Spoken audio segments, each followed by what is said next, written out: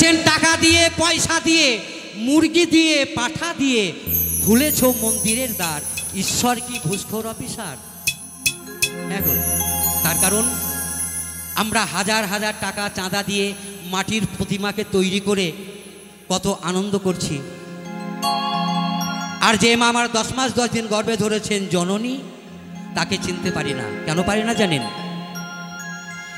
যখন মা আমার মারা গেলেন মারা যাওয়ার আগে বলছে, বাবা, আমার খুব আত্মায় চাইছে দুটো রসগোল্লা নিয়ে আসবি। আমি খাওয়াতে পারলাম না গো, কেন পারলাম না জানেন?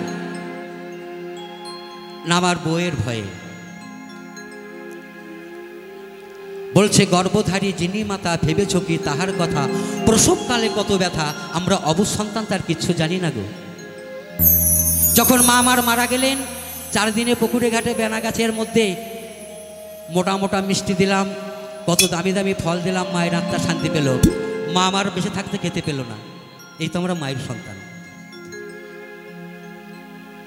মা মারা গেলেন, দশ দিন আমার ওষুধ শেষ হয়ে গেল।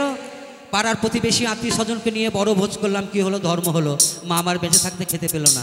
তাই বাউলদের বলছি, বাউল, বেঁচে থাকতে এক মুঠো ভাত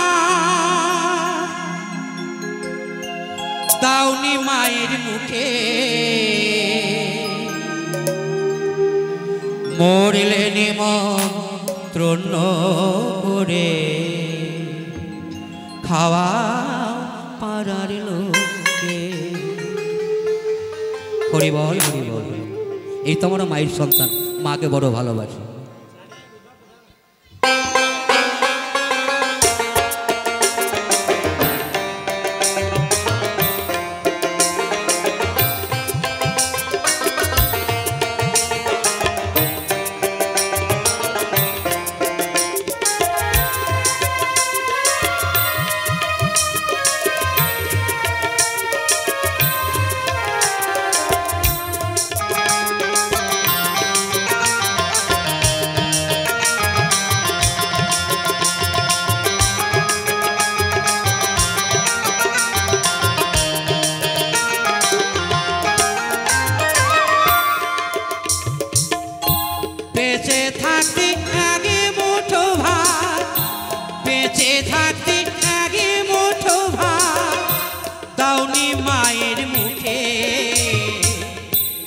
মরলে নিমন্ত্রণ করে।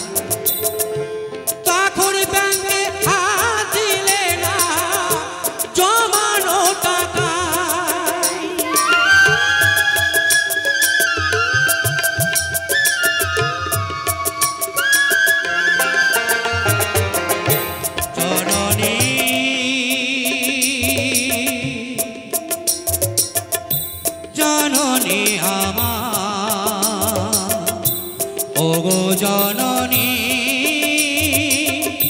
জননী আমার।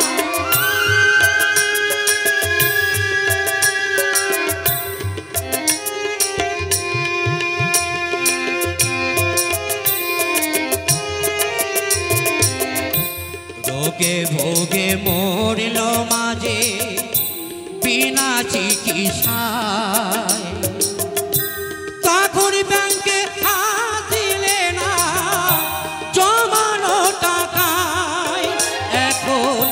দান দক্ষিণা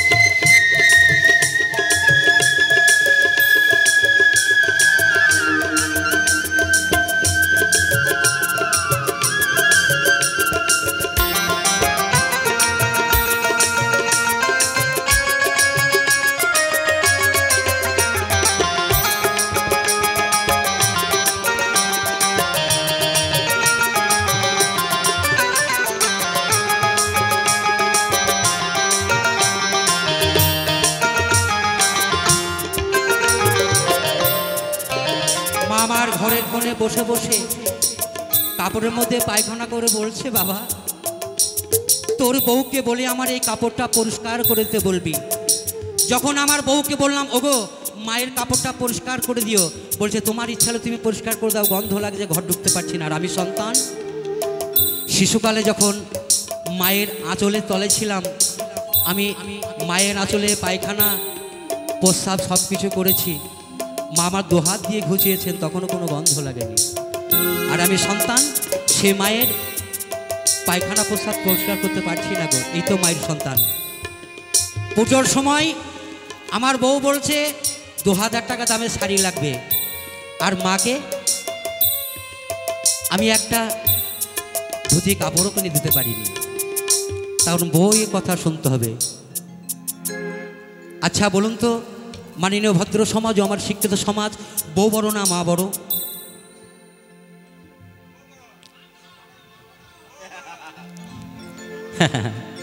তাহলে এইখানেই কেউ বলছে মা বড়, কেউ বলছে বউ বড়। তার কারণ দুটো কথাই ঠিক, দুটো কথাই ঠিক। তার কারণ যেনারা সত্যি মাকে ভালোবাসেন, তেনারা বলছে মা বড়, আর যেনারা বউকে ভালোবাসেন, তেনারা বলছে বউ বড়। হ্যাঁ গো, তার কারণ না বলছে আগে বউ, মা। আগে বউ, তারপরে মা। বউ ছাড়া কিন্তু মা হবে না। হরি বল হরি বল। একবার হরি হরি বল হরি বল হরি বল।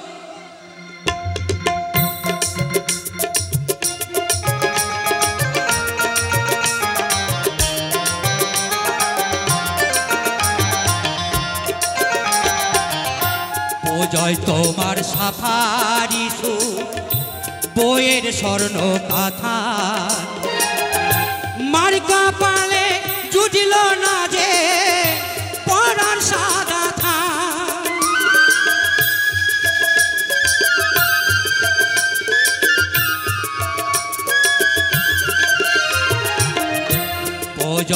তোমার সাফারি সু বইয়ের স্বর্ণ কথা মার পরনে জুটল না যে পরার সাদা থান। এখন থান পড়িয়া মাকে দিলে, থান পড়িয়া মাকে দিলে বাঁশির তোল্লাই থেকে। মরলে নিমন্ত্রণ করে খাওয়াও পাড়ার লোককে। তোমরা পড়লে নিম দ্রণ্য করে খাওয়াও পাড়ার লোককে।